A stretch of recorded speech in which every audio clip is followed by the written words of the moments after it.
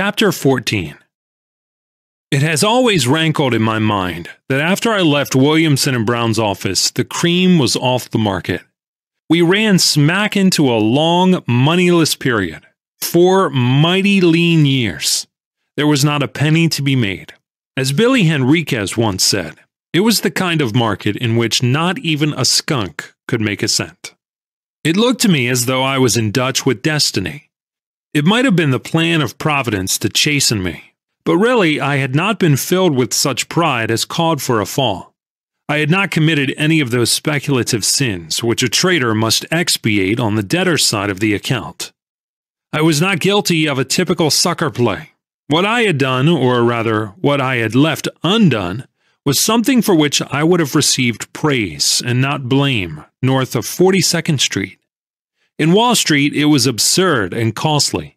But by far the worst thing about it was the tendency it had to make a man a little less inclined to permit himself human feelings in the ticker district. I left Williamson's and tried other brokers' offices. In every one of them, I lost money. It served me right, because I was trying to force the market into giving me what it didn't have to give to wit opportunities for making money. I did not find any trouble in getting credit because those who knew me had faith in me. You can get an idea of how strong their confidence was when I tell you that when I finally stopped trading on credit, I owed well over $1 million. The trouble was not that I had lost my grip, but that during those four wretched years, the opportunities for making money simply didn't exist. Still, I plugged along, trying to make a stake and succeeding only in increasing my indebtedness. After I ceased trading on my own hook because I wouldn't know my friends any more money, I made a living handling accounts for people who believed I knew the game well enough to beat it even in a dull market. For my services, I received a percentage of the profits when there were any. That is how I lived. Well, say that is how I sustained life. Of course, I didn't always lose, but I never made enough to allow me materially to reduce what I owed. Finally, as things got worse, I felt the beginnings of discouragement for the first time in my life. Everything seemed to have gone wrong with me. I did not go about bewailing the descent from millions and yachts to debts and the simple life. I didn't enjoy the situation, but I did not fill up with self pity. I did not propose to wait patiently for time and providence to bring about the cessation of my discomforts. I therefore studied my problem it was plain that the only way out of my troubles was by making money. To make money, I needed merely to trade successfully. I had so traded before, and I must do so once more. More than once in the past, I had run up a shoestring into hundreds of thousands. Sooner or later, the market would offer me an opportunity. I convinced myself that whatever was wrong was wrong with me and not with the market. Now, what could be the trouble with me? I asked myself that question in the same spirit in which I always study the various phases of my trading problems. I thought about it calmly and came to the conclusion that my main trouble came from worrying over the money I owed. I was never free from the mental discomfort of it. I must explain to you that it was not the mere consciousness of my indebtedness. Any businessman contracts debts in the course of his regular business. Most of my debts were really nothing but business debts due to what were unfavorable business conditions for me, and no worse than the merchant suffers from, for instance, when there is an unusually prolonged spell of unseasonable weather. Of course, as time went on and I could not pay, I began to feel less philosophical about my debts. I'll explain. I owed over a million dollars, all of it stock market losses, remember. Most of my creditors were very nice and didn't bother me. But there were two who did bedevil me. They used to follow me around. Every time I made a winning, each of them was Johnny on the spot, wanting to know all about it and insisting on getting theirs right off. One of them, to whom I owed $800, threatened to sue me, seize my furniture, and so forth. I can't conceive why he thought I was concealing assets, unless it was that I didn't quite look like a stage hobo about to die of destitution. As I studied the problem, I saw that it wasn't a case that called for reading the tape, but for reading my own self. I quite cold bloodedly reached the conclusion that I would never be able to accomplish anything useful so long as I was worried, and it was equally plain that I should be worried so long as I owed money. I mean, as long as any creditor had the power to vex me, or to interfere with the coming back by insisting upon being paid before I could get a decent stake together. This was all so obviously true that I said to myself, I must go through bankruptcy. What else could relieve my mind?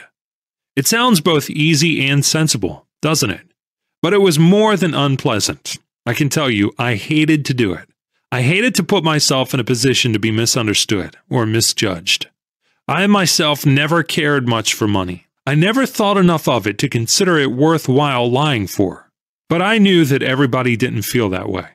Of course, I also knew that if I got on my feet again, I'd pay everybody off, for the obligation remained.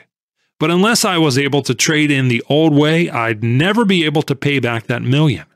I nerved myself and went to see my creditors. It was a mighty difficult thing for me to do, for all that most of them were personal friends or old acquaintances. I explained the situation quite frankly to them. I said, I'm not going to take this step because I don't wish to pay you, but because, in justice to both myself and you, I must put myself in a position to make money. I have been thinking of this solution off and on for over two years but I simply didn't have the nerve to come out and say so frankly to you. It would have been infinitely better for all of us if I had. It all simmers down to this.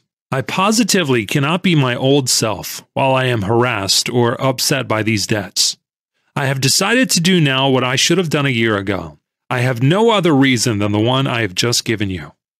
What the first man said was, to all intents and purposes, what all of them said. He spoke for his firm. Livingston, he said, we understand. We realize your position perfectly. I'll tell you what we'll do. We'll just give you a release. Have your lawyer prepare any kind of paper you wish, and we'll sign it. That was, in substance, what all my big creditors said. That is one side of Wall Street for you. It wasn't merely careless good nature or sportsmanship. It was also a mighty intelligent decision, for it was clearly good business. I appreciated both the goodwill and the business gumption. These creditors gave me a release on debts amounting to over a million dollars, but there were the two minor creditors who wouldn't sign off. One of them was the $800 man I told you about. I also owed $60,000 to a brokerage firm which had gone into bankruptcy, and the receivers, who didn't know me from Adam, were on my neck early and late. Even if they had been disposed to follow the example set by my largest creditors, I don't suppose the court would have let them sign off. At all events, my schedule of bankruptcy amounted to only about $100,000, though, as I said, I owed well over a million. It was extremely disagreeable to see the story in the newspapers. I had always paid my debts in full, and this new experience was most mortifying to me. I knew I'd pay off everybody someday if I lived, but everybody who read the article wouldn't know it. I was ashamed to go out after I saw the report in the newspapers. But it all wore off presently, and I cannot tell you how intense was my feeling of relief to know that I wasn't going to be harried anymore by people who didn't understand how a man must give his entire mind to his business if he wishes to succeed in stock speculation. My mind now, being free to take up trading with some prospect of success, unvexed by debts, the next step was to get another stake. The stock exchange had been closed from July 31st to the middle of December 1914, and Wall Street was in the dumps. There hadn't been any business whatever in a long time. I owed all my friends. I couldn't very well ask them to help me again, just because they had been so pleasant and friendly to me, when I knew that nobody was in a position to do much for anybody. It was a mighty difficult task, getting a decent stake, for with the closing of the stock exchange, there was nothing that I could ask any broker to do for me. I tried in a couple of places. No use. Finally, I went to see Dan Williamson. This was in February 1915. I told him that I had rid myself of the mental incubus of debts, and I was ready to trade as of old. You will recall that when he needed me, he offered me the use of $25,000 without my asking him. Now that I needed him, he said, when you see something that looks good to you and you want to buy 500 shares, go ahead and it will be all right. I thanked him and went away. He had kept me from making a great deal of money, and the office had made a lot in commissions from me. I admit I was a little sore to think that Williamson and Brown didn't give me a decent stake. I intended to trade conservatively at first. It would make my financial recovery easier and quicker if I could begin with a line a little better than 500 shares. But anyhow, I realized that, such as it was, there was my chance to come back. I left Dan Williamson's office and studied the situation in general, and my own problem in particular. It was a bull market. That was as plain to me as it was to thousands of traders. But my stake consisted merely of an offer to carry 500 shares for me. That is, I had no leeway, limited as I was. I couldn't afford even a slight setback at the beginning. I must build up my stake with my very first play. That initial purchase of mine of 500 shares must be profitable. I had to make real money. I knew that unless I had sufficient trading capital, I would not be able to use good judgment. Without adequate margins, it would be impossible to take the cold blooded, dispassionate attitude toward the game that comes from the ability to afford a few minor losses, such as I have often incurred in testing the market before putting down the big bet. I think now that I found myself then at the most critical period of my career as a speculator. If I failed this time, there was no telling where or when, if ever, I might get another stake for another try. It was very clear that I simply must wait for the exact psychological moment. I didn't go near Williamson and Brown's. I mean, purposely kept away from them for six long weeks of steady tape reading. I was afraid that if I went to the office, knowing that I could buy 500 shares, I might be tempted into trading at the wrong time or in the wrong stock. A trader, in addition to studying basic conditions, remembering market precedents, and keeping in mind the psychology of the outside public, as well as the limitations of his brokers, must also know himself and provide against his own weaknesses. There is no need to feel angry over being human. I have come to feel that it is as necessary to know how to read myself as to know how to read the tape. I have studied and reckoned on my own reactions to given impulses or to the inevitable temptations of an active market, quite in the same mood and spirit as I have considered crop conditions or analyzed reports of earnings. So, day after day, broke and anxious to resume trading, I sat in front of a quotation board in another broker's office where I couldn't buy or sell as much as one share of stock, studying the market, not missing a single transaction on the tape, watching for the psychological moment to ring the full speed ahead bell. By reason of conditions known to the whole world, the stock I was most bullish on in those critical days of early 1915 was Bethlehem Steel. I was morally certain it was going way up, but in order to make sure that I would win on my very first play, as I must, I decided to wait until it crossed par. I think I have told you that it has been my experience that whenever a stock crosses 100 or 200 or 300 for the first time, it nearly always keeps going up for 30 to 50 points, and after 300 faster than after 100 or 200. One of my first big coups was an Anaconda, which I bought when it crossed 200 and sold a day later at 260. My practice of buying a stock just after it crossed par dated back to my early bucket shop days. It's an old trading principle. You can imagine how keen I was to get back to trading on my old scale. I was so eager to begin that I could not think of anything else. But I held myself in leash. I saw Bethlehem Steel climb every day higher and higher, as I was sure it would. And yet there I was, checking my impulse to run over to Williamson and Brown's office and buy 500 shares. I knew I simply had to make my initial operation as nearly a cinch as was humanly possible. Every point that stock went up meant $500 I had not made. The first 10 points advance meant that I would have been able to pyramid, and instead of 500 shares, I might now be carrying 1,000 shares that would be earning for me $1,000 a point. But I sat tight, and instead of listening to my loudmouthed hopes or to my clamorous beliefs, I heeded only the level voice of my experience and the counsel of common sense. Once I got a decent stake together, I could afford to take chances. But without a stake, taking chances, even slight chances, was a luxury utterly beyond my reach. Six weeks of patience, but in the end, a victory for common sense over greed and hope. I really began to waver and sweat blood when the stock got up to 90. Think of what I had not made by not buying when I was so bullish.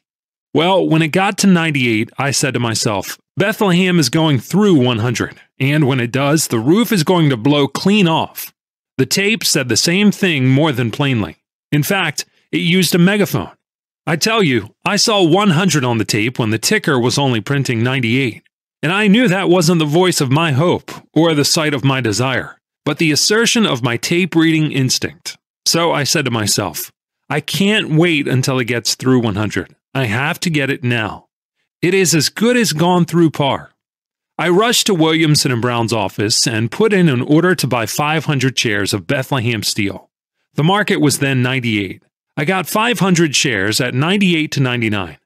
After that, she shot right up and closed that night, I think at 114 or 115. I bought 500 shares more. The next day, Bethlehem Steel was 145, and I had my stake, but I earned it. Those six weeks of waiting for the right moment were the most strenuous and wearing six weeks I ever put in. But it paid me, for I now had enough capital to trade in fair sized lots. I never would have got anywhere just on 500 shares of stock. There is a great deal in starting right, whatever the enterprise may be. And I did very well after my Bethlehem deal.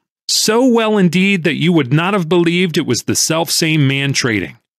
As a matter of fact, I wasn't the same man.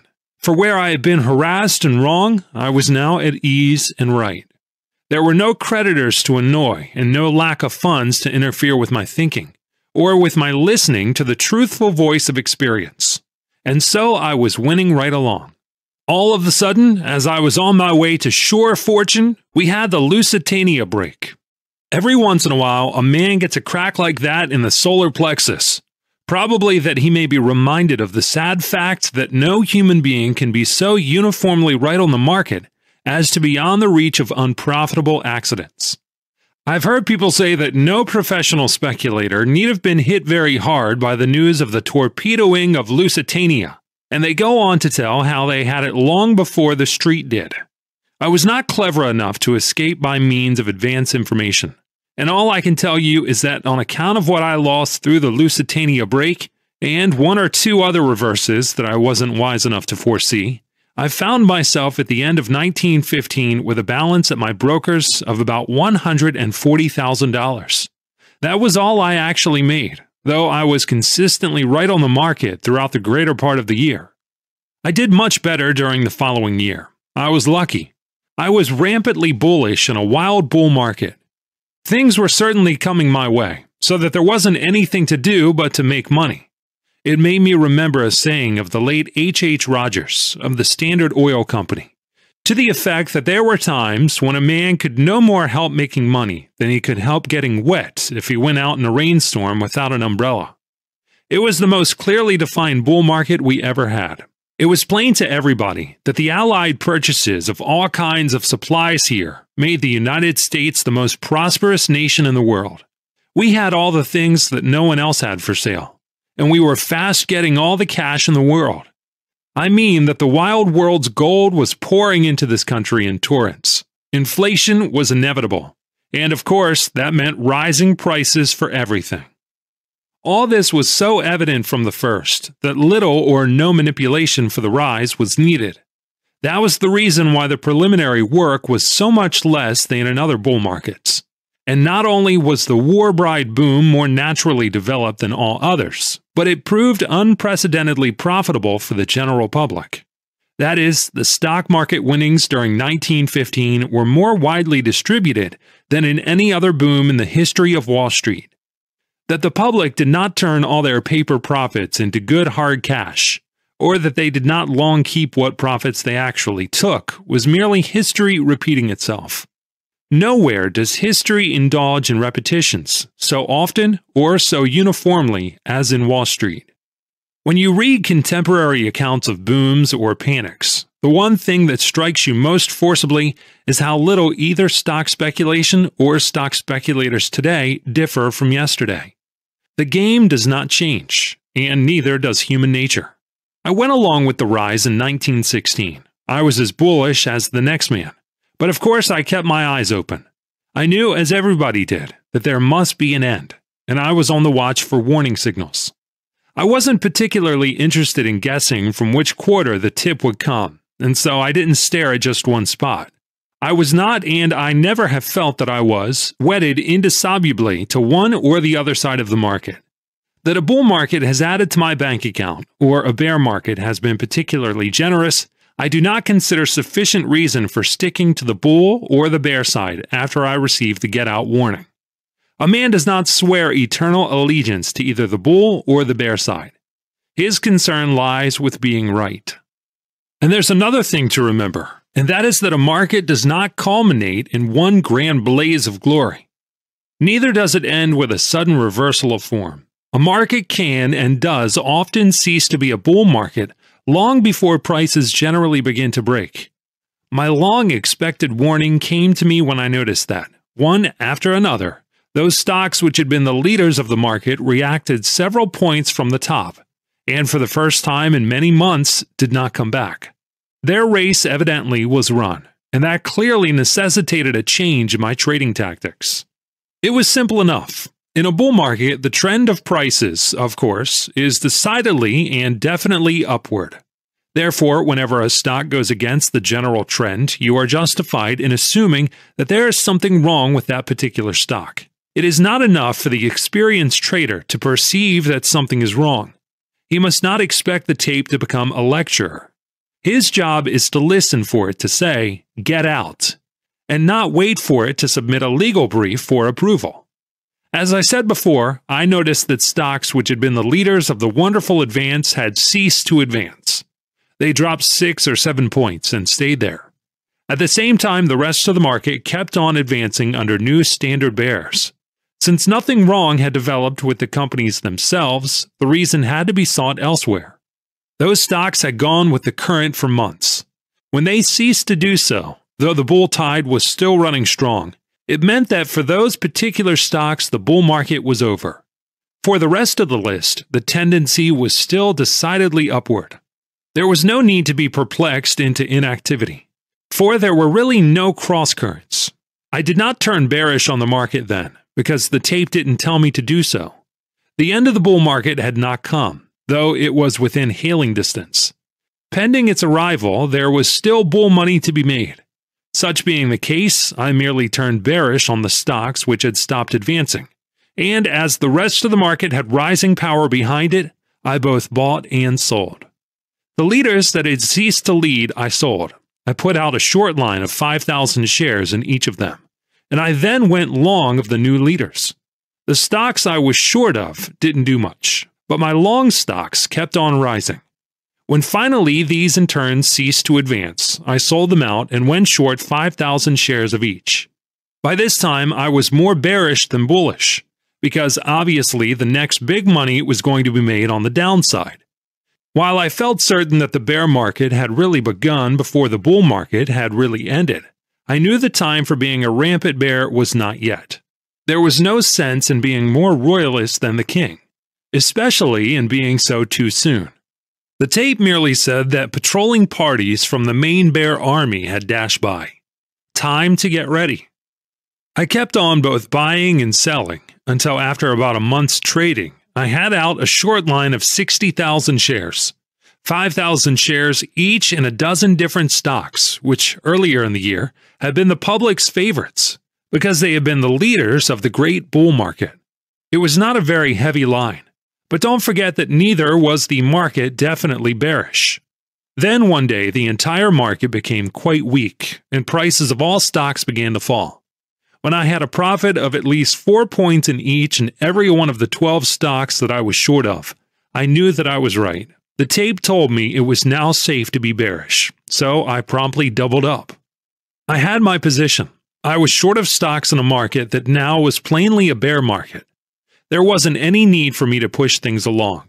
The market was bound to go my way, and knowing that, I could afford to wait.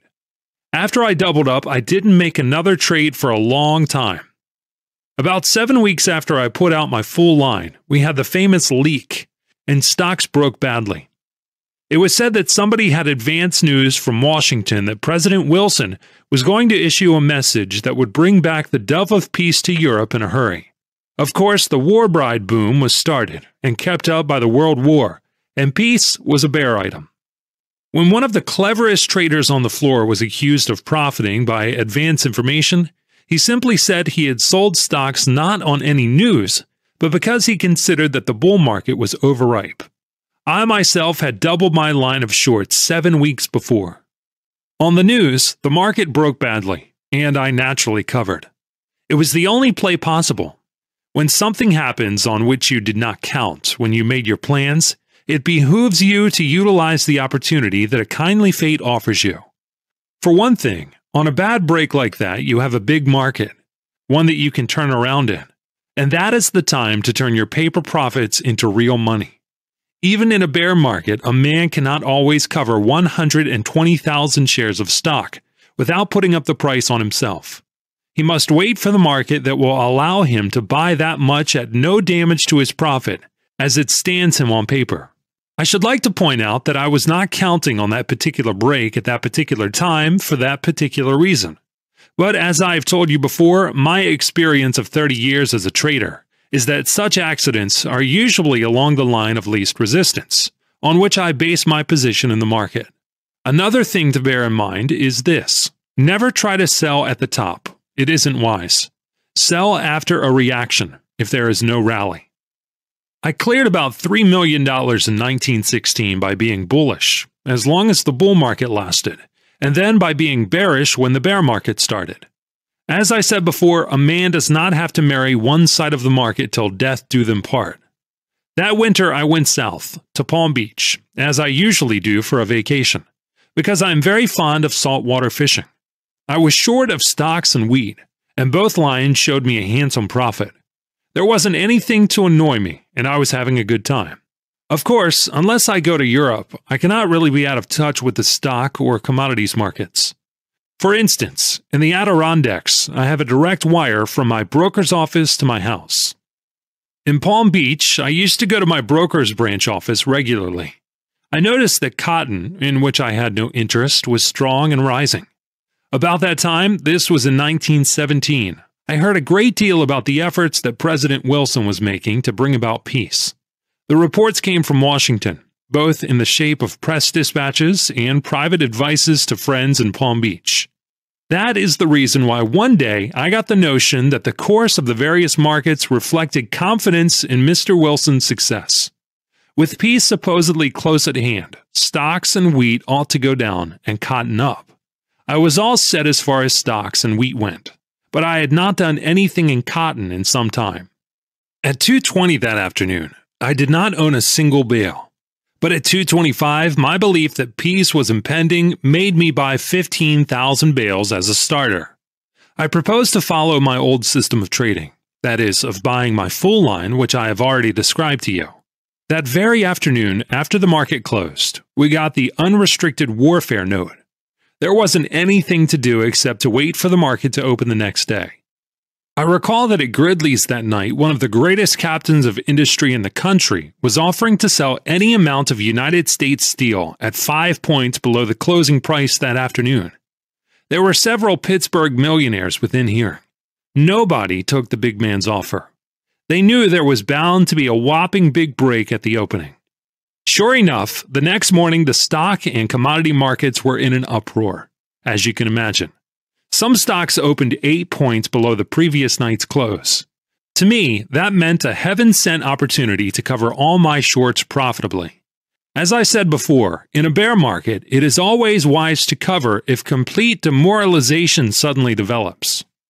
That is the only way, if you swing a good sized line, of turning a big paper profit into real money both quickly and without regrettable reductions.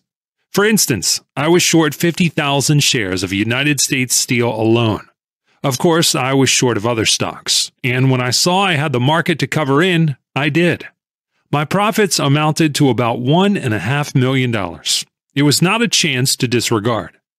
Cotton, of which I was long 15,000 bales, bought in the last half hour of the trading the previous afternoon, opened down 500 points. Some break, It meant an overnight loss of $375,000. While it was perfectly clear that the only wise play in stocks and wheat was to cover on the break, I was not so clear as to what I ought to do in cotton. There were various things to consider, and while I always take my loss the moment I am convinced I am wrong, I did not like to take that loss that morning. Then I reflected that I had gone south to have a good time fishing instead of perplexing myself over the course of the cotton market. And, moreover, I had taken such big profits in my wheat and in stocks that I decided to take my joss in cotton. I would figure that my profit had been a little more than one million instead of over a million and a half. It was all a matter of bookkeeping, as promoters are apt to tell you when you ask too many questions. If I hadn't bought that cotton just before the market closed the day before, I would have saved that $400,000. It shows you how quickly a man may lose big money on a moderate line. My main position was absolutely correct, and I benefited by an accident of a nature diametrically opposite to the conditions that led me to take the position I did in stocks and wheat. Observe, please, that the speculative line of least resistance again demonstrated its value to a trader. Prices went as I expected, notwithstanding the unexpected market factor introduced by the German note. If things had turned out as I had figured, I would have been 100% right in all three of my lines. For with peace, stocks and wheat would have gone down, and cotton would have gone kiting up. I would have cleaned up in all three. Irrespective of peace or war, I was right in my position on the stock market and in wheat, and that is why the unlooked for event helped. In cotton, I base my play on something that might happen outside of the market. That is, I bet on Mr. Wilson's success in his peace negotiations. It was the German military leaders who made me lose the cotton bet. When I returned to New York early in 1917, I paid back all the money I owed, which was over a million dollars. It was a great pleasure to me to pay my debts. I might have paid it back a few months earlier, but I didn't for a very simple reason. I was trading actively and successfully, and I needed all the capital I had. I owed it to myself as well as to the men I considered my creditors to take every advantage of the wonderful markets we had in 1915 and 1916. I knew that I would make a great deal of money, and I wasn't worrying because I was letting them wait a few months longer for money many of them never expected to get back. I did not wish to pay off my obligations in driblets or to one man at a time, but in full to all at once. So, as long as the market was doing all it could for me, I just kept on trading on as big a scale as my resources permitted. I wished to pay interest, but all those creditors who had signed releases positively refused to accept it. The man I paid off the last of all was the chap I owed the $800 to, who had made my life a burden and had upset me until I couldn't trade. I let him wait until he heard that I had paid off all the others. Then he got his money. I wanted to teach him to be considerate the next time somebody owed him a few hundreds. And that is how I came back. After I paid off my debts in full, I put a pretty fair amount into annuities. I made up my mind I wasn't going to be strapped and uncomfortable and minus a stake ever again. Of course, after I married, I put some money in trust for my wife. And after the boy came, I put some in trust for him. The reason I did this was not alone the fear that the stock market might take it away from me, but because I knew that a man will spend anything he can lay his hands on. By doing what I did, my wife and child are safe from me. More than one man I know has done the same thing, but has coaxed his wife to sign off when he needed the money and he has lost it. But I have fixed it up so that no matter what I want or what my wife wants, that trust holds. It is absolutely safe from all attacks by either of us, safe from my market needs, safe even from a devoted wife's love. I'm taking no chances.